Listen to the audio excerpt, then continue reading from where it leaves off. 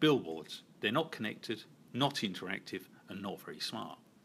They often fail visitors who are desperately trying to find their way in the city, so we decided to upgrade them. A team of smart engineers feeds them with relevant city data, connects them to the web, and synchronizes them with smartphones. Billboards become city live information, an amazing brick to mobile to brick solution. Your eye is triggered by the billboard, your phone connects to the free Wi Fi, and straight away you have the right access to the right information to the right place at the right time.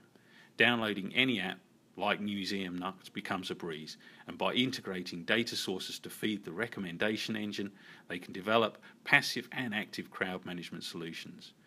They can even use crowdsourced data such as visitor feedback to increase real time accuracy and public engagement.